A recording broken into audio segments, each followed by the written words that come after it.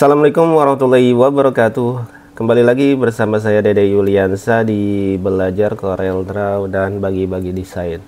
Nah teman-teman di video kali ini saya akan uh, sedikit memberikan tips cara membuat tulisan seperti ini. Tujuannya agar nanti teman-teman saat membuat banner uh, memiliki kreasi dalam membuat teks. Bagaimana cara membuatnya? Ini tentunya perlu disimak bagi pemula yang ingin belajar membuat banner. Oke. Sebelum lanjut ke tutorialnya, alangkah baiknya di subscribe, like, comment, and share. Oke, kita lanjutkan saja uh, proses pembuatannya. Simak saja ya. Nah, pertama-tama teman-teman uh, pergi ke menu text tool seperti ini. Kita langsung ketik saja sesuai contoh seperti ini. Kita langsung aja masukkan teks tanpa batas. Nah jadi kita langsung memasukkan.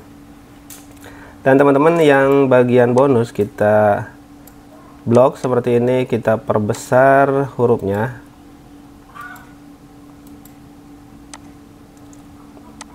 Perbesar hurufnya 150 dan kita perkecil yang tanpa batasnya. Kita sesuaikan saja.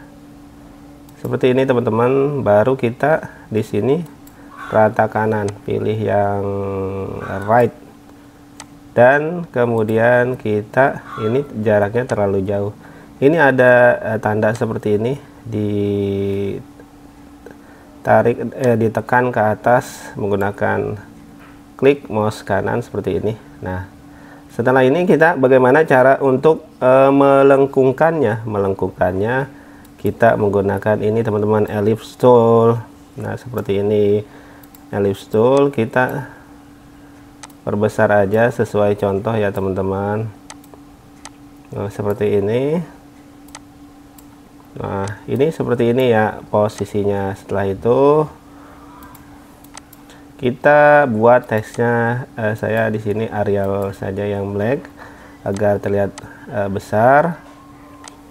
Hmm, segini cukup ya. Nah, setelah itu teman-teman jangan menggunakan power clip ya.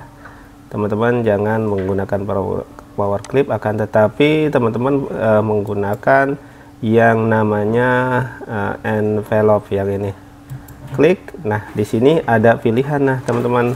1 2 3 teman-teman pilih yang bagian yang single arch mode. Nah ini diklik saja. Nah ini posisinya seperti ini. Kemudian uh, maaf kita arahkan di sini dulu. Baru kita klik ini arch mode. Nah kita tinggal eksekusi teman-teman seperti ini nah kita tarik ini ke atas seperti ini. Oh, kan posisinya langsung kalau kita cek ke sini. Nah ini sedikit lagi ya teman-teman. Uh, kita turunin sedikit. Kita taikin sedikit seperti ini proses untuk pengaturannya. Nah kalau dikira sudah selesai kita ini tinggal dijauhkan uh, seperti ini. Kita contoh saja warnanya uh, kita ngikutin aja. Kemudian yang selanjutnya kita menggunakan menu kontur. Yang ini ya menu kontur. Diklik saja. Kemudian kita pilih warna sesuai contoh. Dan tarik and drag seperti ini nah tarik and drag seperti ini.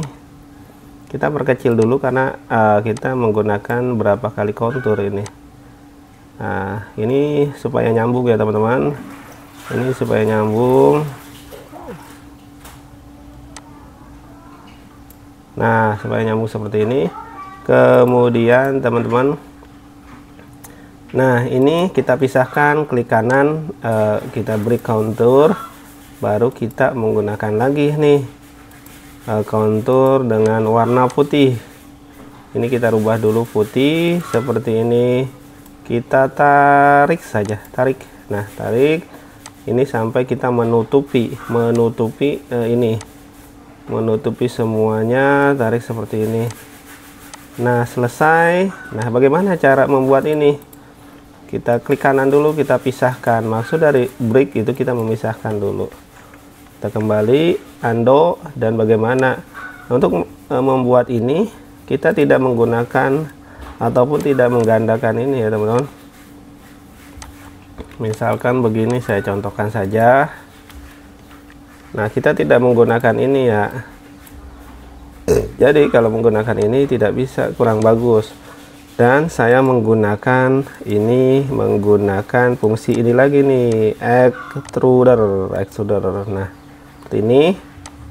Kita tarik ke sini ya teman-teman. Tarik ke sini.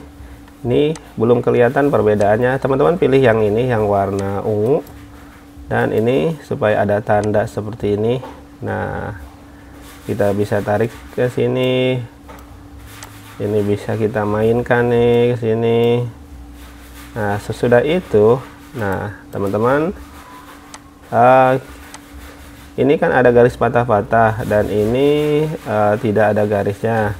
Kemudian teman-teman klik kembali pada ini dan klik kanan kemudian break. Nah maka dia akan terpisah juga dan kita klik kanan klik lagi kemudian klik kanan ungroup. Nah setelah ungroup mouse-nya jangan diklik ke mana dulu supaya posisinya ke sini.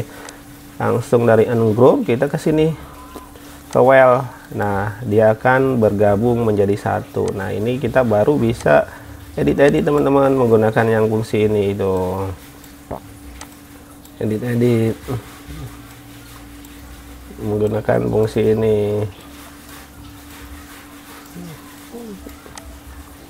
Tuh lumayan bagus kan teman-teman? Nah. Tuh kita bisa mengeditnya sesuai warna-warna pun kita bisa ganti ya teman-teman. Mau ini warna merah kita taruh sini ataupun warna gelap ataupun hitam. Nah ini juga bisa diganti ya teman-teman. Diklik dulu ini klik dulu oh. seperti ini. Nah inilah uh, cara membuat teks supaya nantinya kita saat mendesain ada uh, kepikiran untuk membuat teks yang bervariasi. Ya fungsinya kita belajar seperti ini. Saat ada orderan kita mempunyai uh, ataupun sudah ada gambaran uh, untuk mendesain supaya bagus. Oke demikian tutorial kali ini. Semoga bermanfaat. Jangan lupa di subscribe like comment and share oke sampai berjumpa lagi di video selanjutnya. Wassalamualaikum warahmatullahi wabarakatuh.